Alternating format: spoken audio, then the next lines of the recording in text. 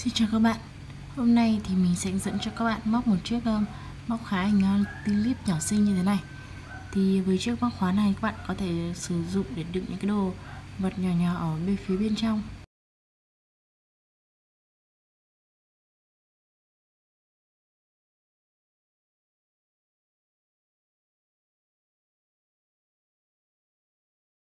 Và gắn móc khóa vào túi sách cũng rất là xinh. Đầu tiên thì chúng ta sẽ móc phần ờ, thân trước. Chúng ta sẽ móc thân, sau đó móc liền lên ờ, phần hoa và sau đó là móc rời và ghép lại sau. Để móc phần thân, các bạn tạo cho mình vòng tròn ma thuật.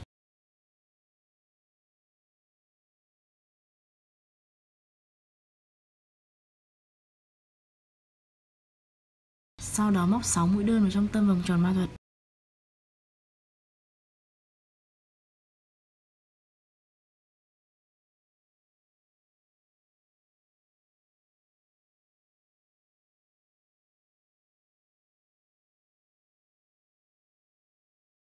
Sau khi móc xong 6 mũi đơn các bạn rút sợi len để thu nhỏ tâm vòng tròn lại.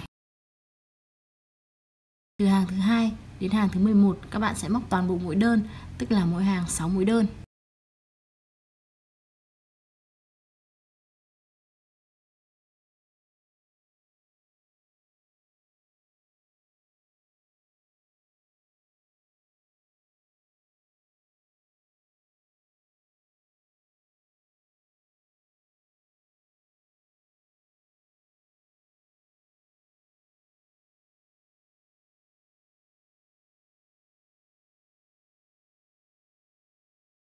Như vậy là chúng ta đã móc xong hàng thứ 11 Nếu các bạn sợ nhầm lẫn thì các bạn có thể đánh dấu cái mũi đầu tiên của mỗi hàng lại. Bây giờ chúng ta sẽ tiến hành à, đổi sang à, len à, màu khác để móc lên phần hoa.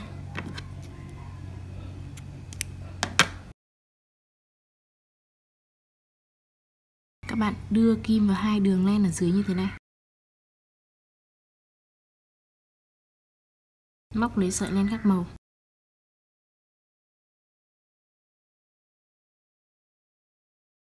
Rút cái phần len xanh ra.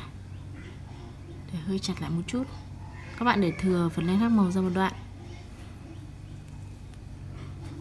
Ở hàng thứ 12 các bạn móc cho mình 6 mũi tăng liên tiếp. Tổng sau khi móc xong hàng thứ 12 chúng ta sẽ có 12 mũi.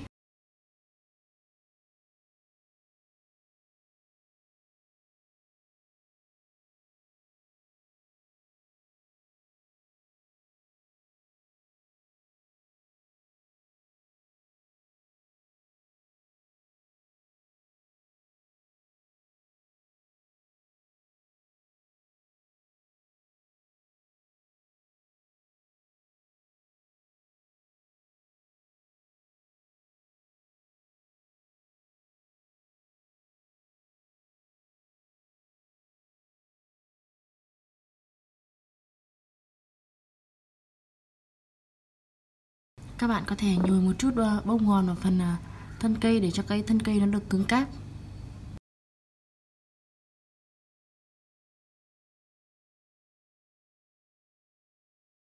Sang hàng thứ 13 các bạn sẽ móc một mũi đơn vào chân mũi đầu tiên.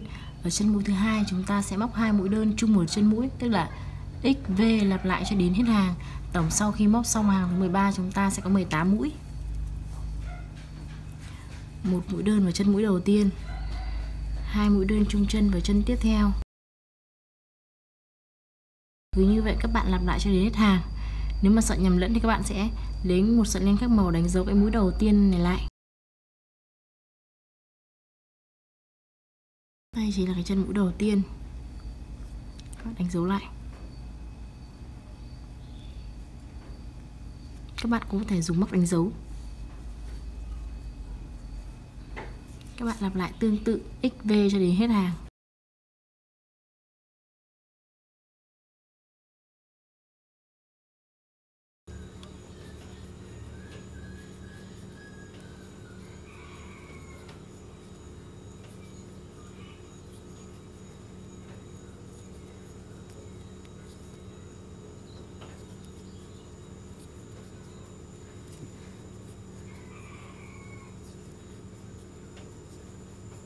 Như vậy là chúng ta đã móc xong hàng thứ 13 Sang hàng thứ 14 Các bạn sẽ móc một mũi đơn vào chân mũi đầu tiên, hai mũi đơn chung chân vào chân tiếp theo, một mũi đơn vào chân thứ ba, tức là x, v, x, lặp lại cho đến hết hàng.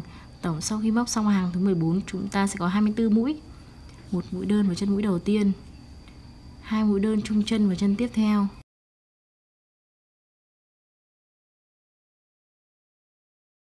Và một mũi đơn vào chân thứ ba cứ như vậy các bạn lặp lại cho đến hết hàng.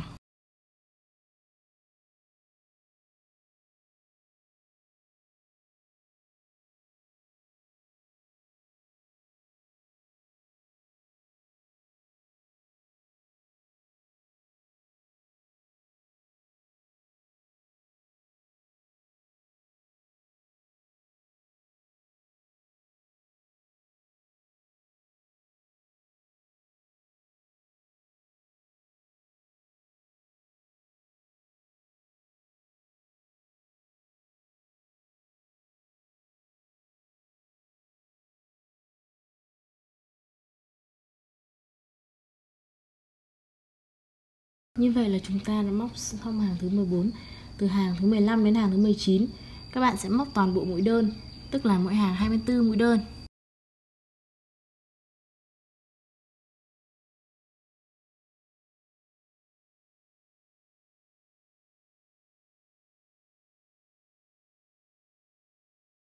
Như vậy là chúng ta đã móc xong hàng thứ 19 Các bạn có thể thấy cái chân mũi đầu của mỗi hàng Sẽ tạo thành một đường hơi chéo như thế này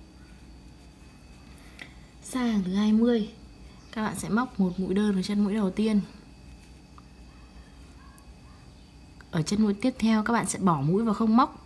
Ở chân mũi thứ ba, các bạn móc cho mình 5 mũi kép đơn chung chân.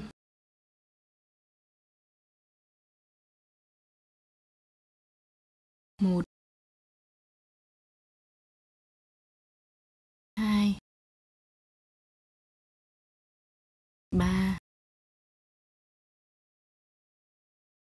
4 5 một mũi đơn vào chân kế tiếp. Như vậy là chúng ta đã móc xong một đường lên như thế này. Công thức chung sẽ là một mũi đơn, bỏ một mũi 5 mũi kép đơn chung chân, một mũi đơn vào chân tiếp theo. Các bạn sẽ lặp lại như vậy thêm hai lần nữa, sau đó chúng ta sẽ móc đến cái phần à, dây để treo như thế này một mũi đơn. Bỏ một chân mũi không móc, nắp, móc 5 mũi kép đơn chung chân. Một. Hai. Ba. Bốn. Năm. Và móc một mũi đơn vào chân tiếp theo tiếp tục móc một mũi đơn vào chân kế tiếp. Bỏ một chân mũi không móc móc 5 mũi kép đơn vào chân tiếp theo. Một, hai, ba, bốn, năm. Và móc một mũi đơn vào chân à, kế tiếp chúng ta đã móc xong ba đường lên. Bây giờ chúng ta sẽ móc đến cái phần dây treo lên như thế này. Các bạn sẽ chỉ móc một mũi cạnh trước như thế này. Các bạn móc vào đây cho mình một mũi rời. Sau đó lên 8 bính.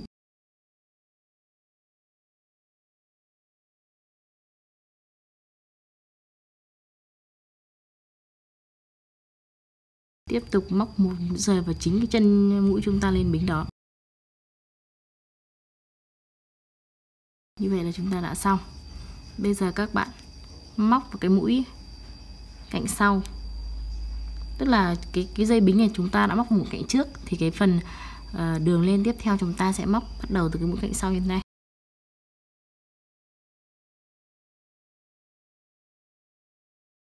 Bạn móc cho mình một mũi đơn. sau đó bỏ một chân mũi không móc, móc vào chân tiếp theo 5 mũi kép đơn chung chân. 1 2 3 4 5 và móc một mũi đơn vào chân kế tiếp. Chúng ta sẽ lặp lại như vậy thêm mà hai lần nữa một mũi đơn. Bỏ một mũi, móc 5 mũi kép đơn chung chân.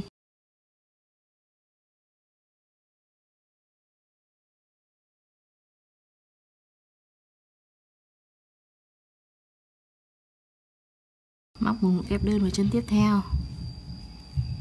Một mũi kép đơn vào chân kế tiếp. Bỏ một mũi, móc 5 mũi kép đơn chung chân.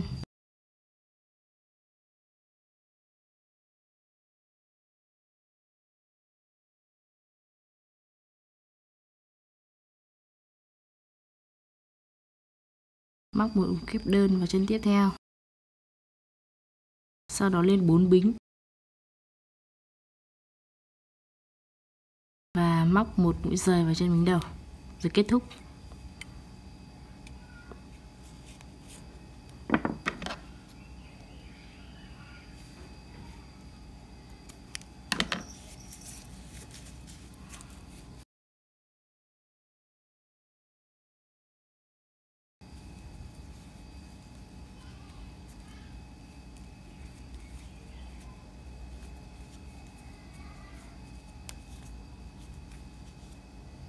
Bây giờ các bạn sẽ giấu cái phần len thừa này đi.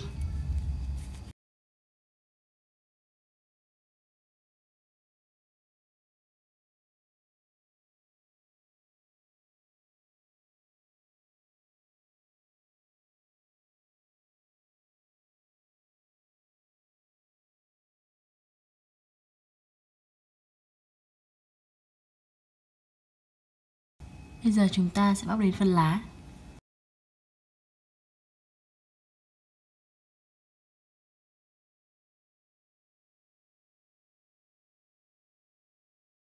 Móc phần lá này các bạn, tạo cho mình vòng tròn ma thuật.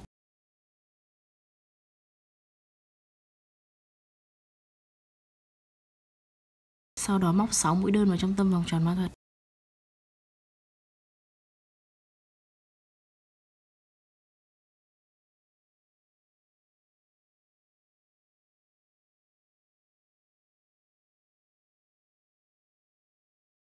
Sau khi móc xong 6 mũi đơn, các bạn rút sợi len để thu nhỏ tâm vòng tròn lại sang thứ hai, các bạn sẽ móc một mũi đơn vào chân mũi đầu tiên.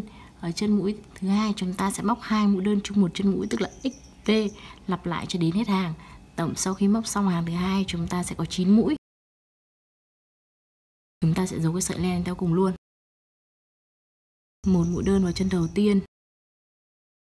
Hai mũi đơn chung chân vào chân tiếp theo.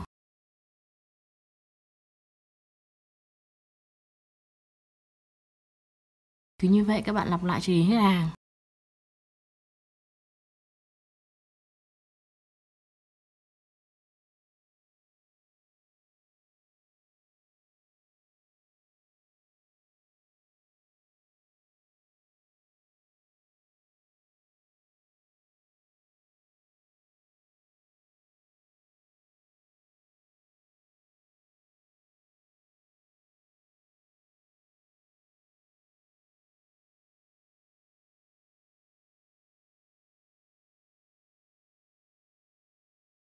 Từ hàng thứ ba đến hàng thứ năm thì các bạn sẽ không tăng mũi mà chúng ta sẽ móc toàn bộ mũi đơn, tức là mỗi hàng 9 mũi đơn.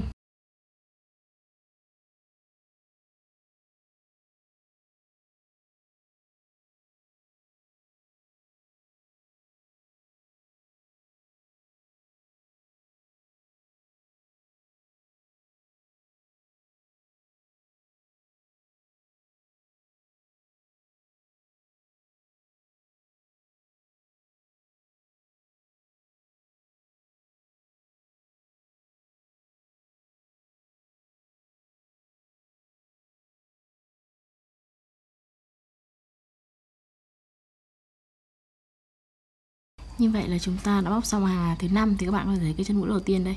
Sẽ tạo thành một đường hơi chéo như thế này. Sang hàng thứ sáu, các bạn sẽ móc một mũi đơn vào chân mũi đầu tiên. Hai chân mũi tiếp theo chúng ta sẽ giảm mũi tức là XA lặp lại cho đến hết hàng. Tổng sau khi móc xong hàng thứ sáu chúng ta sẽ có 6 mũi. Một mũi đơn vào chân mũi đầu tiên. Và hai chân mũi tiếp theo chúng ta giảm mũi. Các bạn làm lại cho đến hết hàng.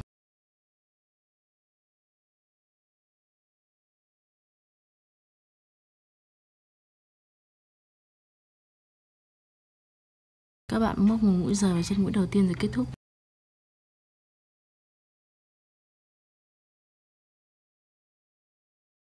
Chia ra một len dài để khâu ráp và cắt sợi.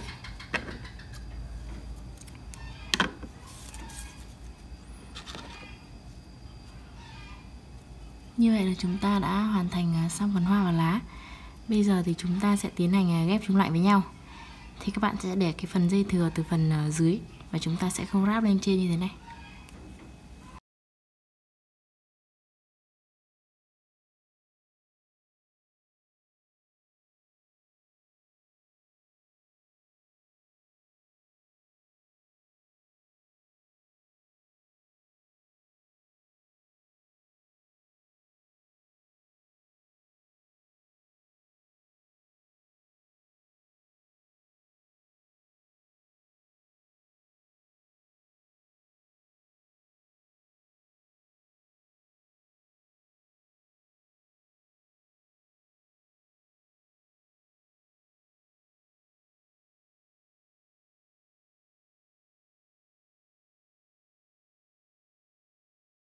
Như vậy là chúng ta đã hoàn thành xong chiếc móc khóa tulip nhỏ xinh như thế này.